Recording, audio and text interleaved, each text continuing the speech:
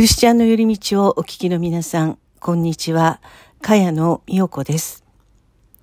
今日は焦ったけど神様によって守られた経験ということでお話をしていきたいと思います。私は昨年の12月、すごくこのひどい風邪をひいてしまいました。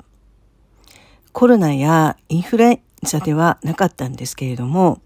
まあ、たかが風邪ぐらいと思いがちなんですが、なんかこのインフルエンザの時よりもひどくって、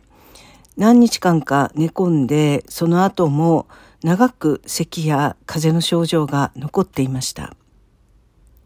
それで実はこのクリスチャンの寄り道の一つ前のシリーズの時に、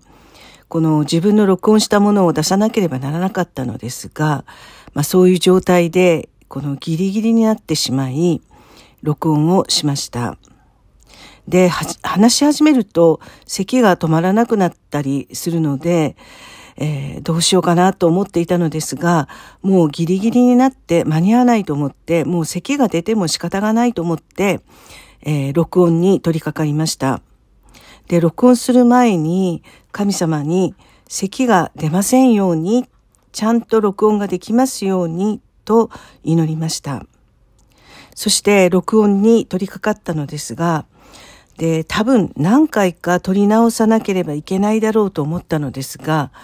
なんと1回で録音を撮り終えることができたんですね。で、その録音中も全く咳が出ませんでした。本当に本当に不思議でした。私は非常にこの出さなくちゃと心の中では、あこの焦っていました。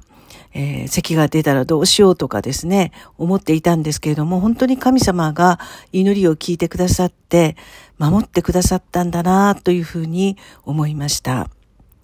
えー、感謝いたします。今日はこれで私の話は終わります。